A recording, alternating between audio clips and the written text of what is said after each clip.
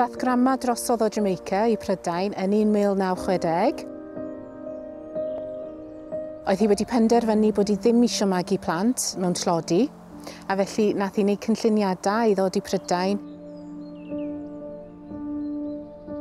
Ddoth hi Prydain at ei anti hi a gadael mam yn Jamaica tan iddi ffeindio lle i fyw.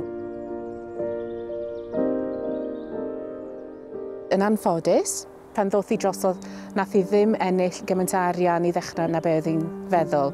Oedd hi'n cael 11 pint yr wythnos yn Jamaica, ond oedd y swydd gyntaf gafodd hi'n Prydain mond yn talu 6 pint yr wythnos.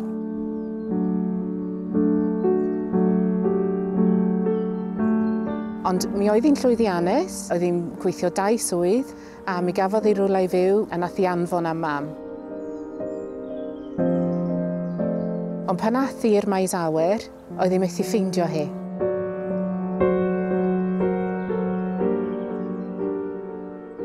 Oedd o wedi bod o gwmpas dwy flynedd ers iddi weld i dwytha, a doedd dim lluniau gen i hi. Nath i weld hogan bach yn crio ar ben ei hun, ac oedd gen i hi ofyn fethu mam, ond o'n diwedd nath i penderfynu mynd ati hi a gofyn beth oedd yn bod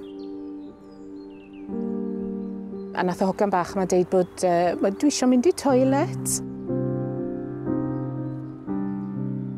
A nath gan mae edrych a dillad hi a feddwl, mae'r rhain yn, dwi di, maen nhw'n debyg y dillad dwi wedi bod yn anfon yn ôl i Jamaica, i Veronica.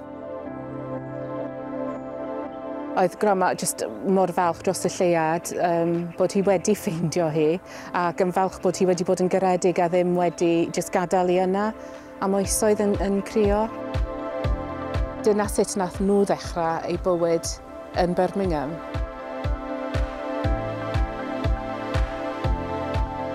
Grandma um, mynd ymlaen i prynu tŷ, uh, priodi.